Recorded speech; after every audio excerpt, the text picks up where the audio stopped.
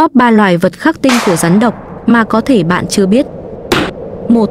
Lửng mật Lửng mật là một trong những loài động vật hiếm hoi có khả năng kháng độc.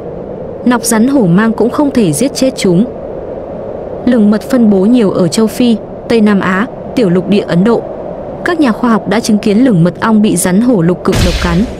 Tuy nhiên chỉ sau 2 giờ, lửng mật tỉnh dậy như chưa có điều gì xảy ra. 2. Cây mang gút Giống lửng mật, cây măng gút cũng được xem là khắc tinh của loài rắn độc nhờ khả năng di chuyển, né đòn mổ và quấn của rắn. Nó tấn công rất chính xác với hàm răng sắc nhọn. Ngoài ra, cây măng gút còn sở hữu bộ lông dày và khả năng miễn dịch giúp chúng vô hiệu hóa nọc độc của rắn. Tuy không miễn dịch hoàn toàn với nọc độc, nhưng cầy măng gút cũng có thể hồi phục trở lại và ăn rắn như lửng mật ong. 3.